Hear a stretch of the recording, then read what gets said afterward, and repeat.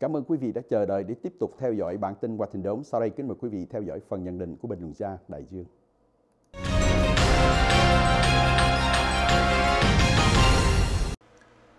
Đại Dương xin kính chào và cảm ơn quý vị đã đón xem chương trình bình luận. Thưa quý vị, trong ngày 12 tháng 9 đã có một cái vụ tấn công vào tòa lãnh sự ở tại Benghazi, tức là ở Libya.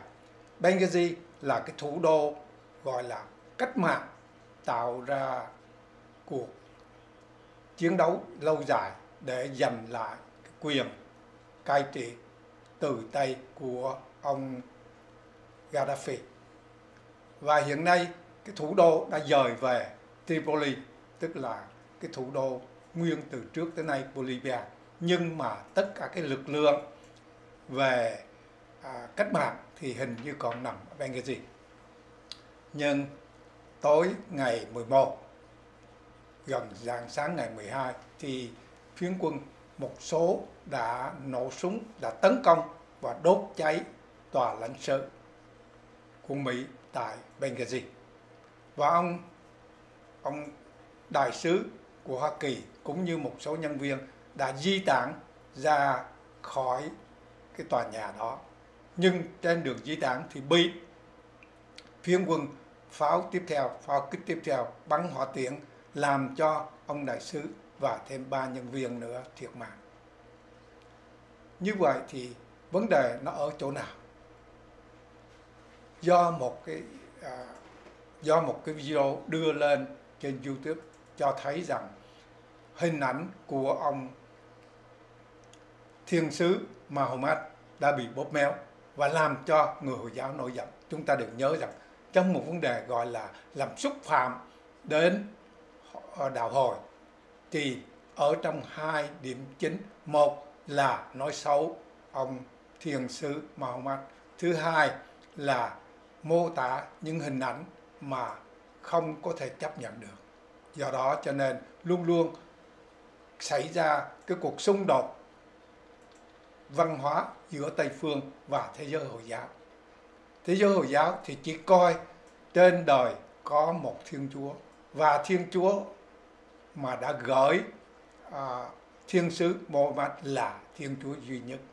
Cho nên nói tóm lại thì họ coi như Thiên Chúa mà đã sai à, thiên sứ mà hóa xuống trần là thượng đế duy nhất trên thế gian này cho nên bất cứ những ai mà xúc phạm thì đều bị phản ứng chúng ta nhớ ở tại hồi khoảng năm 2007 và đến 2010 thì cũng xảy ra cái vụ mô tả ông Mohammed những cái hình ảnh mà người đạo Hồi giáo không muốn chấp nhận cho nên đã xảy ra những cuộc biểu tình ghê gớm ở khắp trong thế giới Hồi giáo làm cho 50 người chết. Thì lần này cũng vậy, trong một trường hợp tương tự như thế đã xảy ra cuộc cuộc à, cả đông độ văn hóa giữa thế giới Ả Rập và thế giới Tây phương. Thưa quý vị, nhưng mà chúng ta thấy ở đây cả hai điểm nó đối nghịch. Thứ nhất là ở trong các chế độ Hồi giáo, họ luôn luôn đàn áp hoặc là tiêu diệt các cái à, đạo giáo khác thí dụ như ngay tại Ai Cập chẳng hạn thì trước đây cách đây chừng 10 20 năm thì cái cái lực lượng của tín đồ của đạo công giáo rất là đông. Nhưng mà ngày nay con số đó càng ngày càng xuống thấp.